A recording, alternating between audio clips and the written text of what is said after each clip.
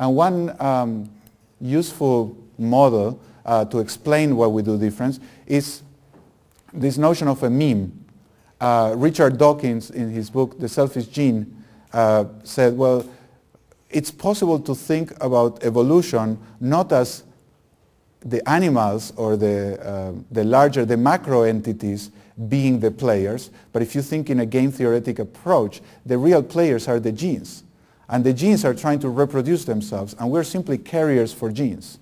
So all, all our wonderful story, like, I don't know, what's the, one of the most human things? Falling in love. Well, falling in love, there's all sorts of oxytocin and different hormones and chemistry and pheromones. And this is, there's a whole science about that, and I've, I've been reading about it. It's quite fascinating. You know, it's just, you, it, it's a lot less romantic than you think. Let me put it like that. I, will give you the bottom line. Um, and one story is that, well, this is not really people doing anything. It's genes creating the carrier mechanisms to be able to spread and grow. He called that the selfish gene. But he also said, we have to get out of this embodiment. So genes are not only biological organisms. We can think of memes as uh, ideas or disembodied information pieces, which are also trying to reproduce themselves. So a meme could be a fashion. If you talk to people that have been in California or you talk to teenagers in the United States today, it's, it's, for me, it's very disgusting. They don't notice it, but it's called the California high rise. And what that means is they, they will speak in a sentence and they will always finish up. And they will say, you know, I was with a friend the other day and we were having dinner and, and it's, uh, uh, uh, and I, my kids say that and I want to strangle them. It's like, stop. You know, the sentence ends down. When you're asking a question, the sentence ends up. But if you're making a statement, it ends down, down, okay? Go down. I was like, yes, daddy. So these, these, these are things, or, or, a jingle. You hear a song on TV and then you can't get it out of your mind and you keep thinking, singing it and you're like whistling and then you start seeing other people in your business teams whistling the same song and you're going all crazy and things take over. So fashions, all these things. So these are disembodied um, pieces of information that travel through imitation. And in a way, uh, now the researchers are saying that memes are the evolution of genes because they are going to the next level. Only human beings have the imitation qualities that will allow meme to spread. Not only that, but now they're talking about temes, which are techno memes. So these are, these are things, memes that spread through technology.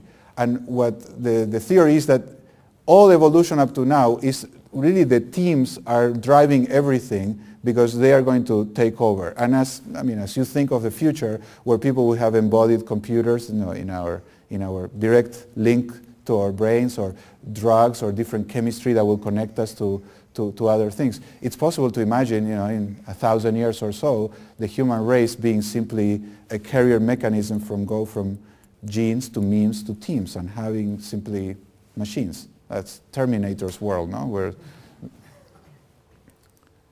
so I like to talk about the other side, which is the selfless meme.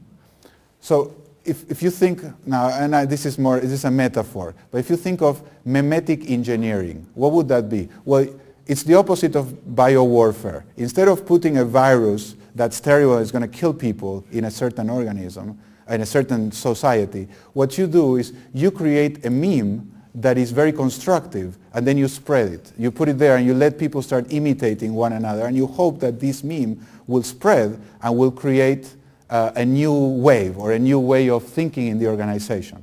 So I, I generally refer to these memes as uh, pills. I like the notion of a pill because a pill has a hard shell. And it's necessary to provide business people with a hard shell, something that makes sense, that is rational, that is logical, that it seems down to earth and appropriate for business. But then I want the payload or the medicine inside to be soft, selfless, the, perhaps the exact opposite of what it looks in the outside. But that can only be released like a real pill once you've uh, passed the barrier of the saliva and other acid parts that will destroy the medicine. You want it to release only in the stomach. So some people accuse me that this is not as nice as a pill. It's really a Trojan horse.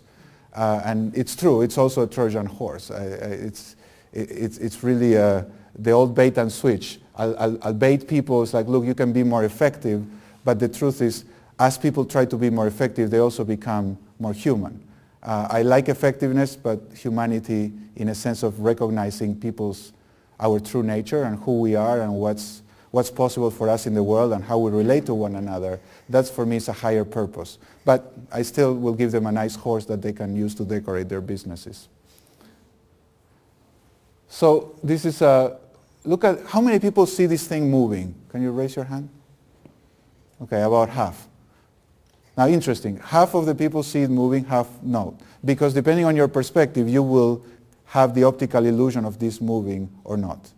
And this is a very, there are lots of these Gestalt experiments, lots of magic eye things. So in a very down-to-earth way, you can show people, look, what you see is not what's out there. You don't see what's out there. And in fact, what you see depends on where you sit. So if you're sitting on the right, you, this was move. If you're sitting straight in front, this moves.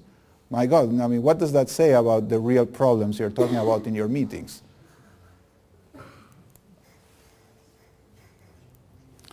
And here is the meme.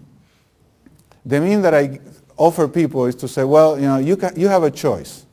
You can live your life as a knower or you can live your life as a learner. If you take the blue pill, you go to bed, you wake up tomorrow and the world will be exactly the same. Now you take the red pill of a learner and I'll bring you to see how deep the rabbit hole is. Do you want to go and see what's on the other side? I said, well, but what is a learner? What's the difference? Well, I mean, I, I know. It's like, yeah, but a knower is not a person that knows. The definition of a knower is a person whose self-esteem is completely dependent on looking right, looking like they are right. That's, that's how I define a knower or a know-it-all.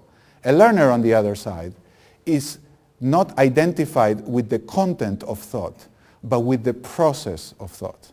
And this is this is a much deeper, again, uh, now I'm in the business part, so I don't go into this, but it's a very deep question. Is a human being an entity or is the human being a process? And in the Eastern perspective, there's much more a process. There's, there's no thing there. It's just a flow that's carved out. It's more like a whirlpool. And I ask people, where does the whirlpool go when there's no more water in the tub? I mean, that's a Zen koan. Okay, so if you have a whirlpool in the tub and then there's no more water, where did it go? Or where does the fist go? See the fist? This is a fist. It's quite real. I could punch someone with it if you doubt it. But then where does the fist go when I open my fingers? I mean, something's wrong because there's no fist here. There's a fist here. There's no fist. And there's a fist. What happens to the fist? Where does it come and go? Uh, Wittgenstein would say this is a language game. Okay? The, the, the trick here is that there's no such thing as a fist. The fist is a configuration of the hand.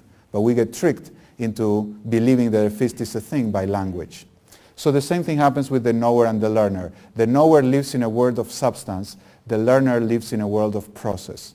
The knower is trying to convince everybody that he or she is right and other people are wrong or whoever disagrees with her is wrong. And the learner is in the world of, I don't know, this is what I think, but I'd like to hear what you think. And I don't have a lot of investment in proving that someone is right and someone is wrong. We're just talking about things, and I don't, I don't have any side. I'm not even on my, there's no such thing as my side because I don't have a side.